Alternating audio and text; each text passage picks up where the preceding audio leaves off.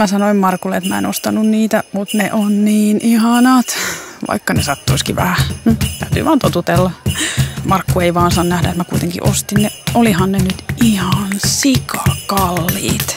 Tässä on tämä teidän pakettinne.